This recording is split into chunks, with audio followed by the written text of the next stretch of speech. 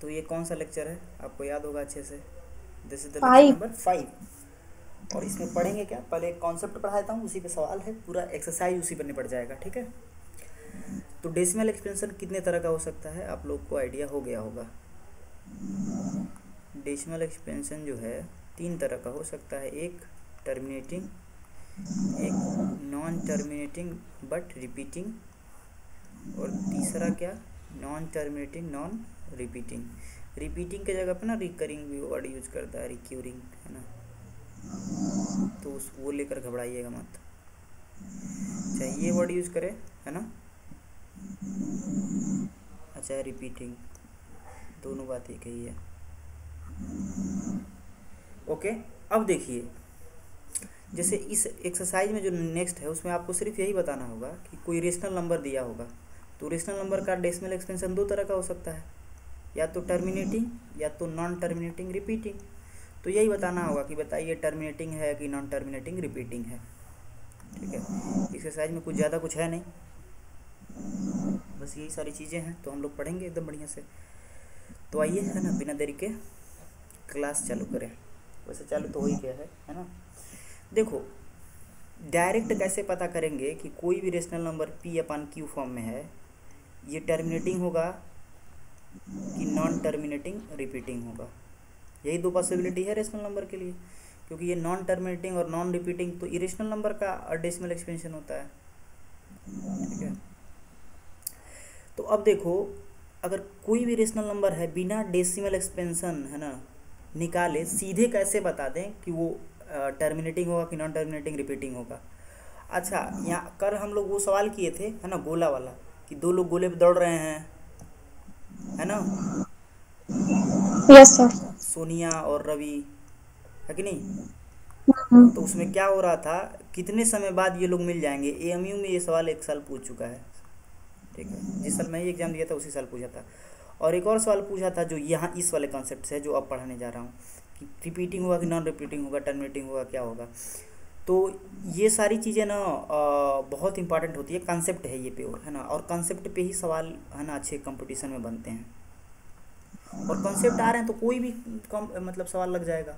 ये तो अच्छी बात है ना कॉन्सेप्ट आ रहा है तो। तो देखिए अगर कोई भी रेशनल नंबर है पी अपन क्यू फॉर्म में हम्म, अगर इसका क्यू है ना क्यू का अगर प्राइम फैक्टराइजेशन करें और ये two to the power m into five to the power n के फॉर्म में आ जाए तो वो नंबर क्या हो जाएगा? टर्मिनेटिंग डेसिमल एक्सपेंशन हो जाएगा। मतलब उस उस नंबर का जो डेसिमल एक्सपेंशन है, वो क्या हो जाएगा? टर्मिनेटिंग हो जाएगा।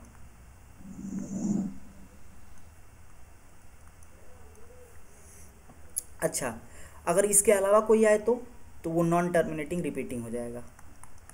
अच्छा नॉन टर्मिनेटिंग रिपीटिंग क्यों हो रहा है सर? क्यों नहीं ये हो जा रहा है? एन टी एन आर क्यों नहीं हो जा रहा है? नॉन टर्मिनेटिंग नॉन रिपीटिंग क्यों नहीं जा रहा है? क्योंकि भाई ये रेशनल नंबर है। पी अपन क्यू फॉर्म में जो होता है वो रेशनल नंबर होता है। ठीक है?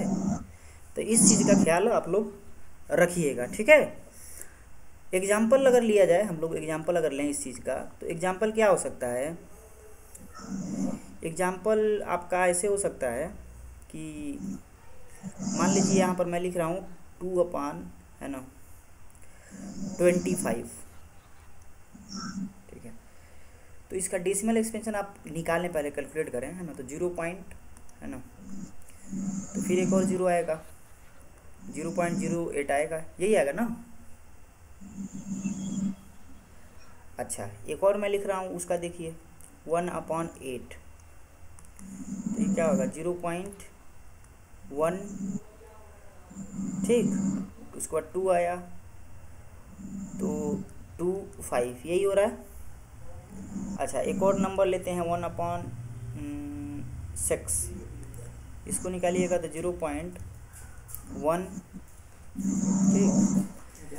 चार तो उसके बाद six six six dot dot dot ठीक है? तो समझिए इस चीज़ को। यहाँ पर देखिए जो डिनोमिनेटर था क्यू था, ये किस फॉर्म का था? Five to the power two यहाँ इसको लिख सकते हैं हम लोग two to the power zero यहाँ पर देखिए, ये डिनोमिनेटर जो है, किस फॉर्म का है?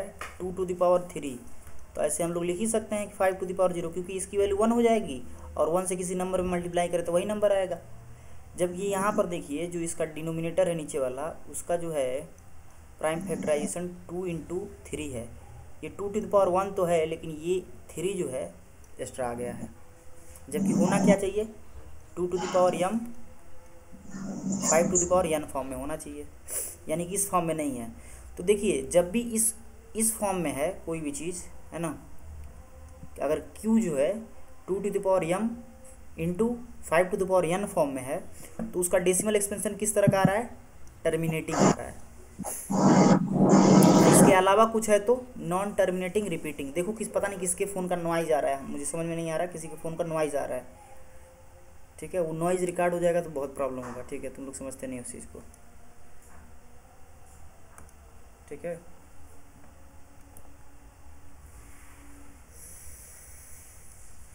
ओके तो आगे बढ़े, है ना? ये कॉन्सेप्ट समझ में आ गया होगा। नहीं समझ में आया तो एक बार बोलो। कोई डाउट है?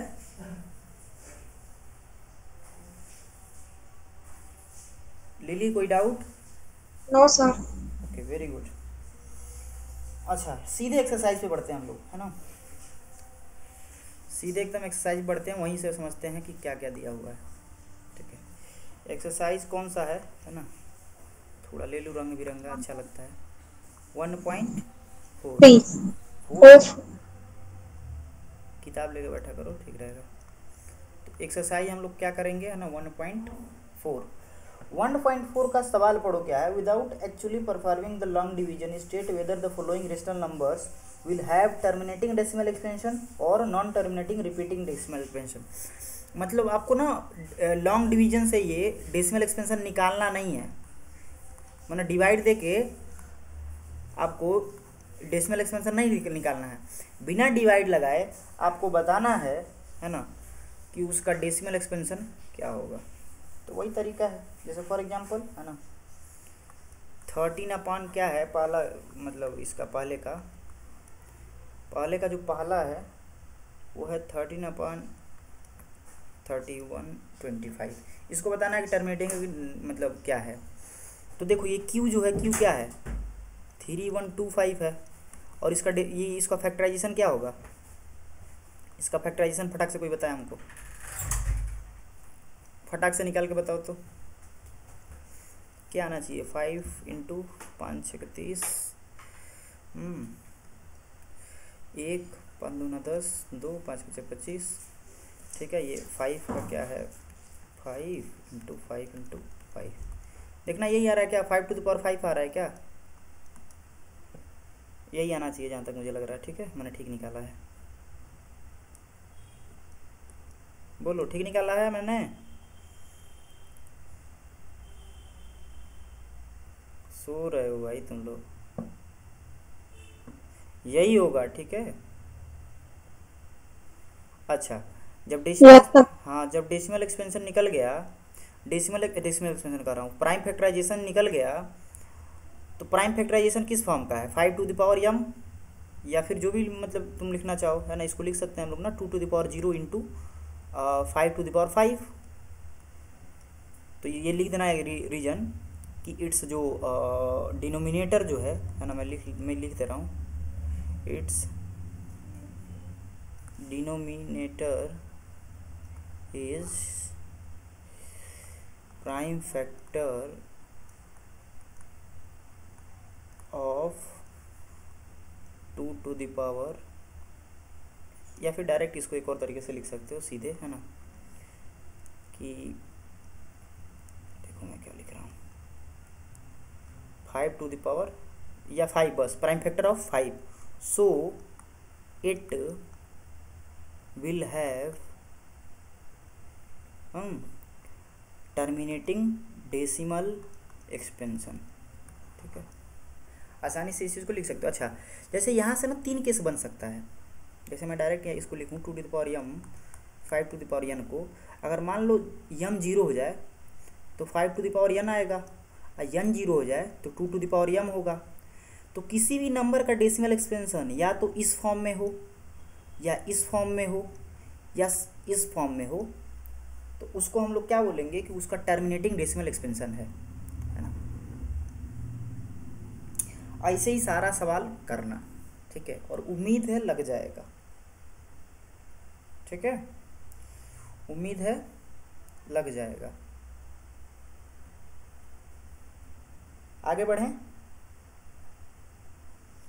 यस सर ठीक है वेरी गुड तुम लोग का आवाज़ बड़ा टप्पा रिकॉर्ड होता है उसमें। और मेरा आवाज़ ऐसा लगता है म्याऊं म्याऊं बोल रहा हूँ है ना? डर लगता है मतलब डर लगता है कि बच्चे ये कमेंट फिर से कर हैं सर आवाज़ बहुत स्लो है थोड़ा तेज बोला कीजिए। क्या कर सकता है इंसान? पूरा बोलते तो हैं उस लेकिन ये लैपटॉप में सेटिंग वेटिंग बढ़िया है नहीं पता नहीं क्या क्या बनाना पड़ेगा। एक तो हाँ चलाना वालाना हमको आता नहीं है उसी में अपडेट कर लिया हूँ विंडोज़ एलेवन चलो बढ़िया। अब देखो दूसरा जो सवाल है उसमें कह रहा है कोई पढ़ो है ना? एक कोई सवाल पढ़े। पढ़ो तो फटाक से सवाल पढ़ो कोई। Write down the decimal expansion of those rational numbers in question 1 above hmm which have terminating decimal expansions. अच्छा अच्छा। जिसका टर्मिनेटिंग डेसिमल एक्सपेंशन हो। ठीक है? तो यानी कि इस दूसरे सवाल में उन्हीं सवालों को सॉल्व करना है, उन्हीं सवालों का डेसिमल एक्सपेंशन निकालना है, जिनका टर्मिनेटिंग डेसिमल एक्सपेंशन हो। तो पहले तो ये सारा जब सवाल वन कर लोगे ना तो पता चल जाएगा किसका किसका टर्मिनेटिंग डेसिमल एक्सपेंशन है। जिसका जिसका है टर्मिनेटिंग डेसिमल एक्सपेंशन उसका निकाल के दिखाइए। बाकियों का जिसका नॉन टर्मिनेटिंग रिपीटिंग होगा ना, उसका नहीं निकालना है, सिर्फ़ इसका निकालना है टर्मिनेटिंग वाले का। तो जैसे हम लोग जो केस किए हैं थर्टीन अपॉन है ना थर्टी वन ट्वेंटी फाइव इसका करना पड़ेगा। तो देखो, इसको मैं हम, है ना डिवाइड लगा मत करो, ऐसे करो, मैं जैसे बता रहा हूँ। किताब में भी दिया है तरीका। इसको एक बेटे सेकंड इसको हम लोग इस फॉर्म में लिख सकते हैं। लिख सकते हैं। अब देखो two to the power five और two to the power five से डिवाइड कर दो मल्टीप्लाई और डिवाइड कर दो।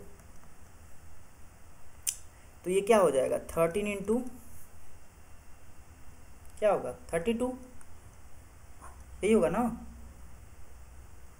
बोलो भाई। बोलते भी नहीं है और ये क्या हो जाएगा? टेन टू दावर फाइव हो जाएगा। ये। अब ये क्यों होगा?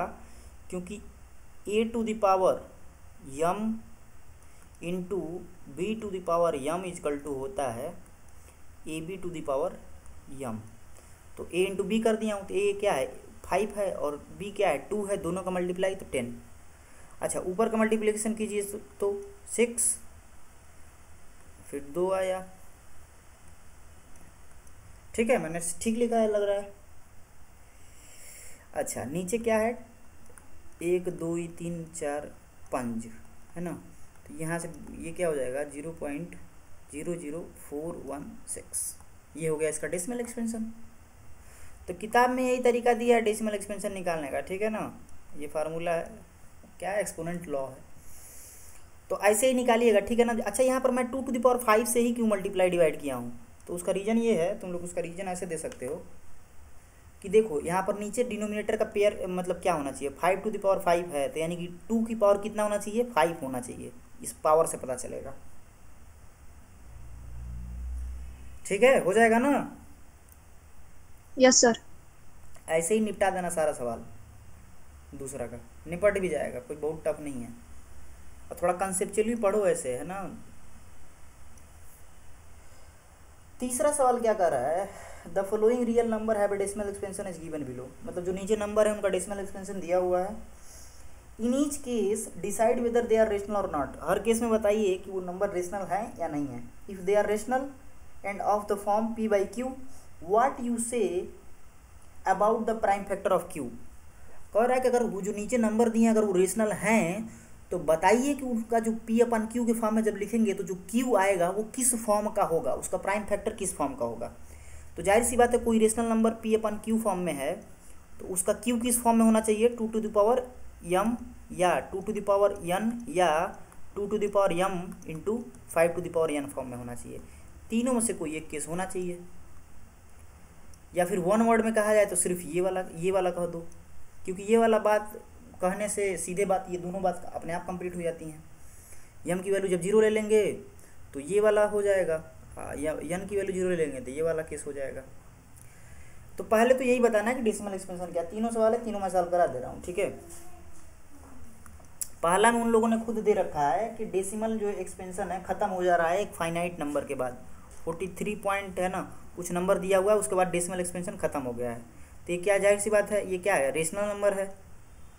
यस सर अच्छा उसके बाद दिया हुआ है दूसरा कि zero point one two zero one double zero one two triple zero dot dot dot अच्छा यहाँ पर रिपीट हो रहा है क्या? पहली बात ये टर्मिनेट नहीं हो रहा नॉन टर्मिनेटिंग है ये तो समझ में आ रहा होगा क्योंकि डॉट डॉट लगा हुआ है। क्या ये रिपीटिंग है? No, बोलो sir. लिली। हाँ नहीं है। ठीक है तो ये इरेशनल नंबर है। अच्छा तीसरा दिया हुआ है। ठीक बार वाला नंबर है। तो बार वाला नंबर तो आप समझते ही हैं। ये तो पहला ही सवाल है यही वाला नंबर हुआ तो है भाई। ये जो पहला वाला नंबर हुआ इसी को तो दिया हमको लग रहा है। सेम नंबर है ना? यस सर बोलना ये नंबर क्या है? Forty three point hmm. One one two two three four five six seven eight nine अच्छा नौ तक गिनते चले जाइए बहुत बढ़िया इस पे मतलब इस वाले केस में क्या लग गया है? बार लग गया है।